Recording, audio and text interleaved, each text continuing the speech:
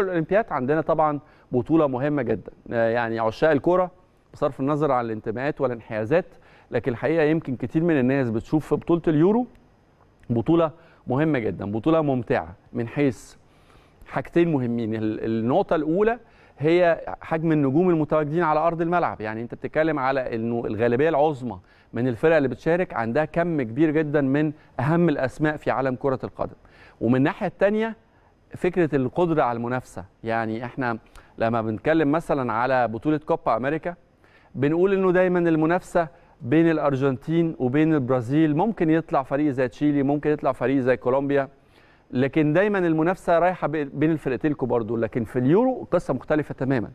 اليورو كل شيء وارد كل شيء جايز كل المنتخبات حتى بما فيهم المنتخبات الضعيفة ممكن مرشحه وفي أكتر من سابقه تقول إنه الإنجاز ده ممكن يتحقق لفريق بعيد عن عن الترشيحات أو عن آراء الخبراء. على كل الاحوال في سجل طبعا لبطولة أمم أوروبا.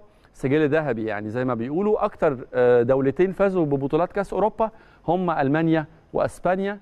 المنتخبين دول قدروا يحققوا البطولة دي ثلاث مرات. ثلاث مرات قبل كده. يمكن ألمانيا 72 80 و96 أما فيما يتعلق بالمنتخب الأسباني فحقق البطولة 64 ورجع مرة ثانية طبعا جيل ذهبي إنيستا المايسترو والفيلسوف زي ما بيسموه. 2008 و2012 قدروا إن هم يجيبوا اللقب مرتين لأسبانيا عشان تحقق رصيد ثلاث بطولات. أما فرنسا فحققت اللقب مرتين بس مرة سنة 84 ده جيل ميشيل بلاتيني ومرة سنة 2000 طبعا بقيادة زيدان وتيري هنري.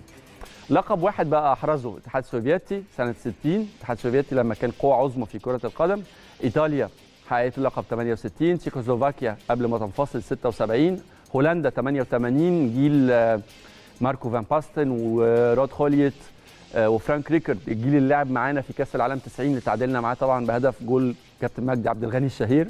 واليونان جاءت من حيث لا ندري ولا نحتسب كده منتخب كان غير مرشح على الإطلاق للتتويج لكن المنظومة الفريق الحالة قدروا يحققوا اللقب سنة 92 البرتغال 2004 و 2016 الدنمارك في سنة من السنين فاكر كويس جدا كان منتخب لم يتأهل أساسا للمشاركة في بطولة اليورو.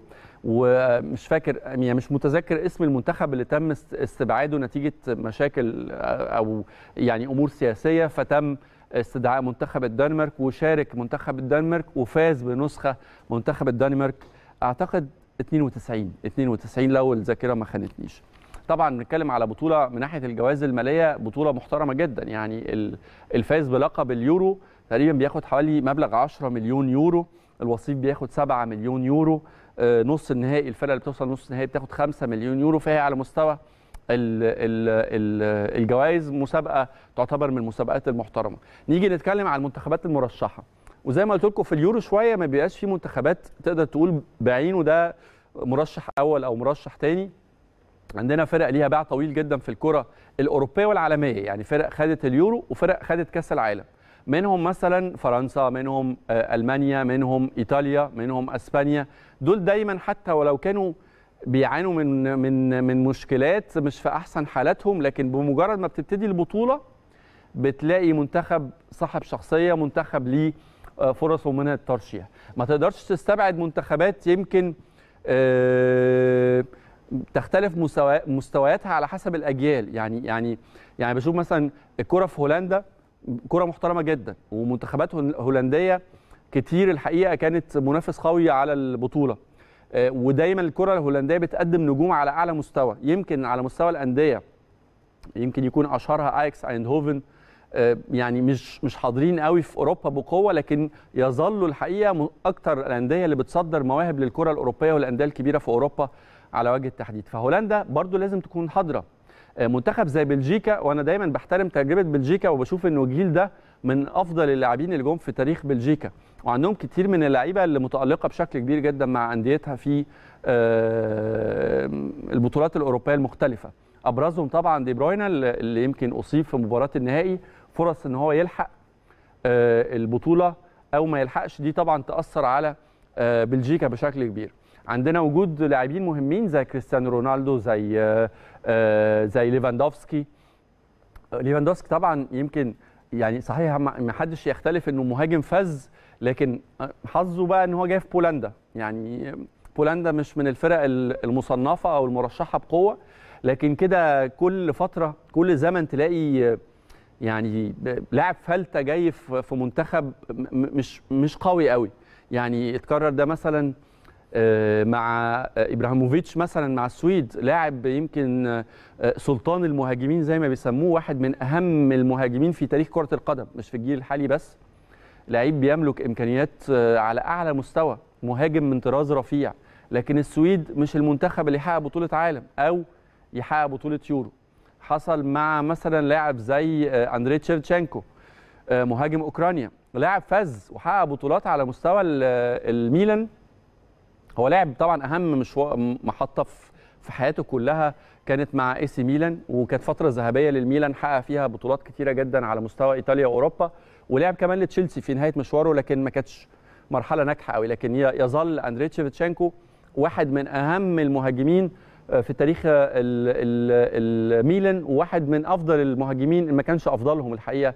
يعني ما بيتهيأليش إنه أوكرانيا صدرت لعيبة كتيرة قوي أو طلعت مواهب زي اندري شيفتشينكو حتى في أفريقيا عندنا مثلا لاعب زي جورج ويا كان برده مع الميلان متألق جدا لكن مع منتخب زي ليبيريا رغم إن أنا ما انسالهمش إن هم طلعونا مرة من تصفيات كأس العالم جون تحديدا جورج ويا في عصام الحضري.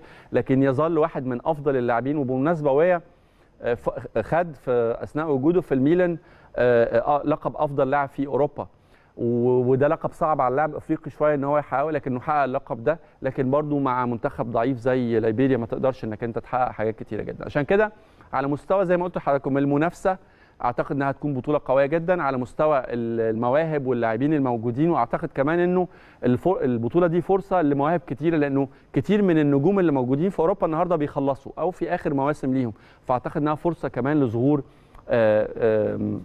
يعني مواهب جديدة في الكرة الأوروبية.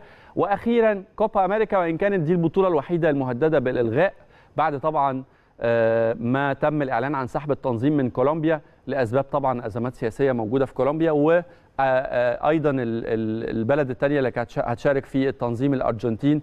تم نقل البطولة ل البرازيل. لكن في اعتراضات من عدد كبير جدا من المنتخبات على المشاركة في البطولة وبالتالي تظل دي البطولة الثالثه ولكنها ما زالت بين قوسين مهددة بالإلغاء.